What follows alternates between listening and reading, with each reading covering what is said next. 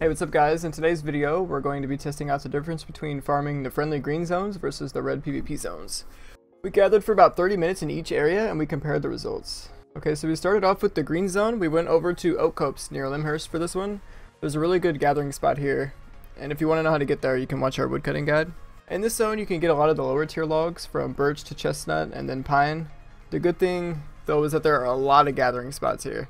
If you get lucky and there aren't that many people here, you'll be able to have most of the trees yourself and you can literally just run around and gather everything. Sometimes it does get crowded though. We've seen like upwards of like 30 people in this area all fighting for the trees and it gets pretty annoying.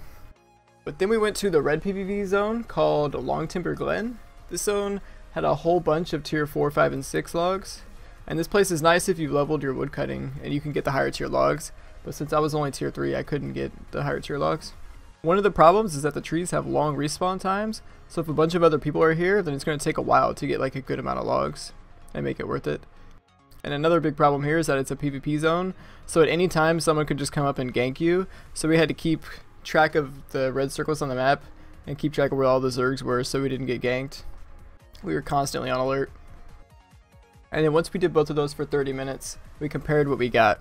And this is what we got from the green zone on the left you'll see my earnings. I was wearing normal gear and I only had T3 woodcutting, while my friend Fantasy on the right had T4 woodcutting plus he was wearing the gathering gear.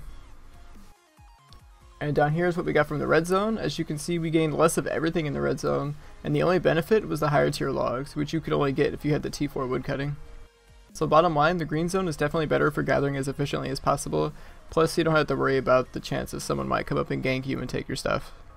And that's it for this video today, guys. Let us know what you think. If you want to see more Albion content, go ahead hit that sub button and like the video.